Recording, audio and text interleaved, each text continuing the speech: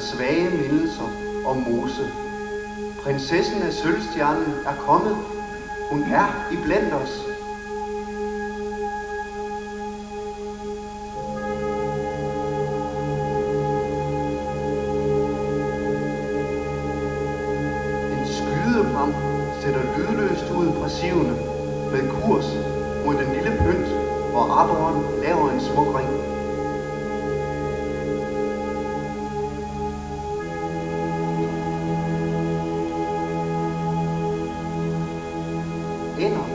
Trækker hæsligt skræmmende hen over jægeren. To skud følger efter hinanden og rammer øder lidt forsinket. En and falder tungt. En plask og en pludselig stillhed, der lidt efter brydes af en fjern skibslyd, der kommer nærmere og nærmere.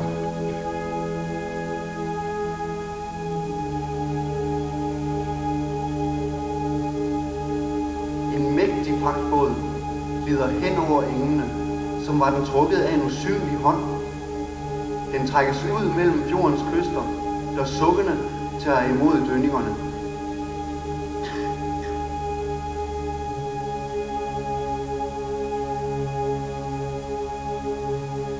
Solen bryder igennem og opløser alt det hvide. Gule, røde og brune farver eksploderer horisonten rundt, og vandet bliver koldt at se og føle på. Det er stort, havet. Han ville vige sinde.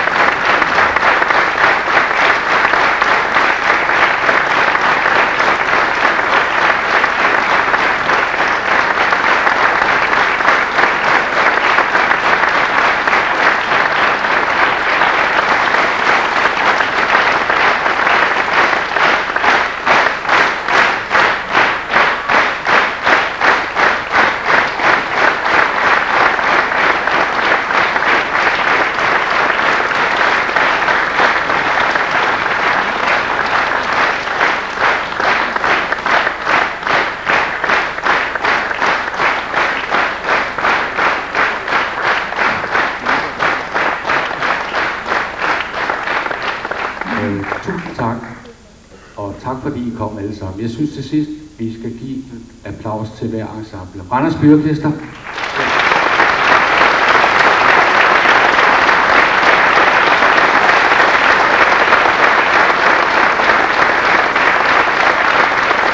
Og som det, Peders Koncertkor.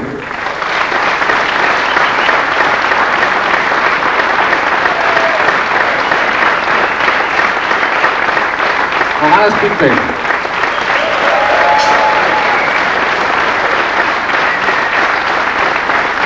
Aliens, vinga.